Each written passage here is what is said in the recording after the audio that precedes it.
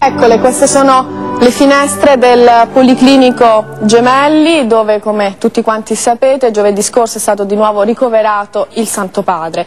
Giovanni Paolo II ha subito anche un intervento ma noi eh, davvero preghiamo eh, per una rapida, rapida ripresa eh, del eh, pontefice. Più tardi torneremo a collegarci proprio con questo ospedale, con i colleghi del TG1 per sapere gli aggiornamenti e ci collegheremo naturalmente anche con Piazza San Pietro per partecipare alla preghiera dell'Angelus che quest'oggi dovrebbe essere guidata da Monsignor Sandri, sostituto della segreteria eh, di Stato. La messa questa domenica verrà trasmessa però da un altro altro ospedale di Roma, sto parlando del eh, Fate Bene Fratelli, dove naturalmente tutti eh, i pazienti stanno in questo momento pregando proprio per eh, il, la pronta guarigione del Santo Padre. È così Andrea? Sì, è veramente così. Intanto buongiorno a tutti. Io ho chiamato qui fuori sul ponte dell'isola Tiberina con me Don Marco Belladelli, che è responsabile del servizio pastorale del Fate Bene Fratelli, perché Don Marco ci dirà che la messa di oggi, Don Marco, è una messa con un'intenzione per il Papa, per la salute del Papa. Eh, buongiorno a tutti, certo, la messa di oggi è stata preparata e verrà offerta e celebrata proprio per la salute del Papa. Questo verrà anche esplicitato in una preghiera dei fedeli a questo proposito preparata appositamente. Chiaramente quando sono degli ammalati a pregare il tema della salute ricorre spesso, si chiede spesso al Signore la salute, però anche la malattia comunque è una testimonianza. Certo, infatti possiamo dire che in tutto questo mese, già dal primo ricovero qui all'isola Tiberina, abbiamo offerto sempre le messe e invitato tutti gli operatori soprattutto gli ammalati a offrire la loro sofferenza per la salute del Santo Padre. Ecco, a celebrare questa messa oggi sarà Monsignor Redrado. Monsignor José Luis Redrado è il segretario del Pontificio Consiglio per la Pastorale della Salute. Se non erro, Monsignor Redrado è anche il primo vescovo del sì. Fate Bene Fratelli in 500 anni di storia, vero Monsignor Redrado? Così è. Buongiorno. Allora, intanto una cosa che possiamo dire è che il Pontificio Consiglio della Salute è un'invenzione di Giovanni Paolo II. Sì, l'ultimo dicastero che lui ha istituito. Un Papa che viene da lontano, però direi che viene dalla sofferenza. È un e... Papa che realmente ci insegna di più quando lo vediamo al Gemelli che quando scrive eh, queste grandi encicliche e carte pastorali che sono tanto belle. Ecco, la domanda che volevo farle alla fine ha già una risposta, volevo chiedere se il Papa con la sofferenza ci ha insegnato qualcosa, lei ha detto di sì evidentemente. Molto, molto ci insegna. Credo che un Papa che trascina spirito dentro della debolezza, della sofferenza che vediamo tutti i giorni.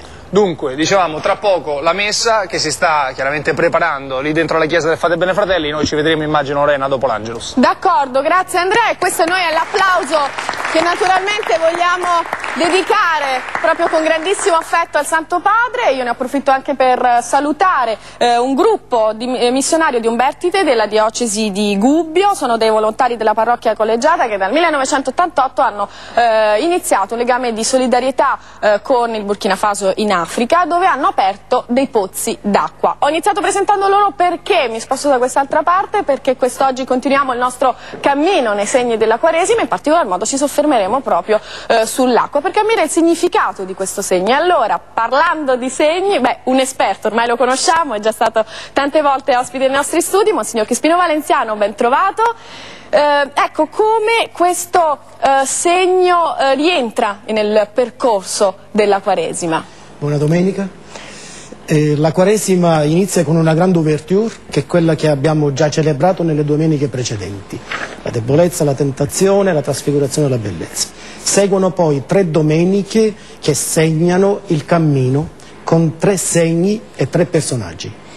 Uno, che è questa domenica terza, l'acqua, acqua viva con la Samaritana. Domenica prossima, vista, vista acuta con il cieco nato. E poi vita, vita nuova con Lazzaro risuscitato. Quindi il collegamento è del cammino attraverso questi tre segni, come ci indicano questi tre personaggi, cammino di ognuno di noi, dopo la grande ouverture che ci serve di senso generale del discorso. Insomma l'acqua comunque come eh, dono di Dio, acqua come dono della natura della quale l'uomo è comunque eh, custode, per cui a questo punto è inevitabile la riflessione sulla gestione dell'acqua che è comunque una eh, risorsa limitata. La crisi idrica è particolarmente presente nel nostro paese, nel sud eh, e questo porta anche delle eh, gravi conseguenze, pensiamo al razionamento estenuante a cui sono sottoposte tante eh, famiglie per cui in determinati periodi dell'anno hanno l'acqua soltanto per poche ore la settimana, per cui è una situazione davvero molto molto difficile. Allora cerchiamo di vedere come eh, la Chiesa affronta questa realtà. Con il prossimo filmato ci spostiamo proprio in Sicilia.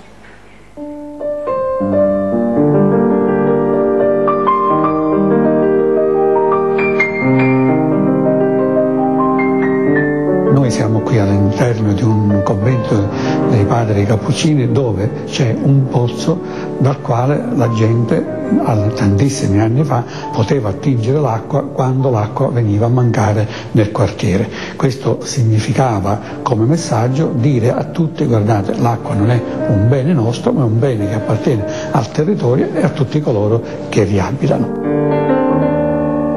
Io vengo da una zona della Sicilia, il centro della Sicilia, dove la siccità crea talvolta eh, degli spettacoli di una natura arida. Diceva Tomasi di Lampedusa nel suo romanzo Il Gattopardo che in Sicilia l'estate è lunga come l'inverno russo e questo certo crea dei problemi. Mentre sono ora vescovo qui di Monreale dove la natura è come eh, animata dall'acqua e l'acqua permette una vegetazione lussureggiante. Ci sono zone di grande ricchezza anche agricola, proprio qui in Sicilia. Sembra di essere proprio qui questo, dove stiamo in questo momento, sulle montagne sopra Monreale, quasi sulle Alpi. Eh, sì, io credo che la Sicilia possa essere come una parabola eh, della situazione adesso internazionale, di zone in cui l'acqua c'è ed è abbondante, di zone in cui l'acqua manca. Forse mai come oggi l'umanità eh, vive una consapevolezza che l'acqua è un bene prezioso. Qualcuno ha scritto e ha detto che le guerre del futuro, i grandi conflitti eh, deriveranno proprio dalla divisione, dalla conquista dell'acqua, dal poter acquisire le sorgenti dell'acqua, non più il petrolio, insomma, ma l'acqua quale fonte di contrasto perché sarà la ricchezza di maggiore valore. Certo, per questo c'è bisogno anche di un accordo, di un accordo tra gli Stati, di una possibilità di scambio e questa è una prospettiva per il futuro che si impone. Questo mi sembra che sia un messaggio che possiamo mandare al mondo di oggi. L'acqua è un bene di tutti, nessuno deve, o per motivi economici, o per motivi clientelari, o per altri motivi, deve poter dire quest'acqua è mia, questo pozzo è mio, perché l'acqua è uno dei beni che Dio ha messo a disposizione di tutta l'umanità.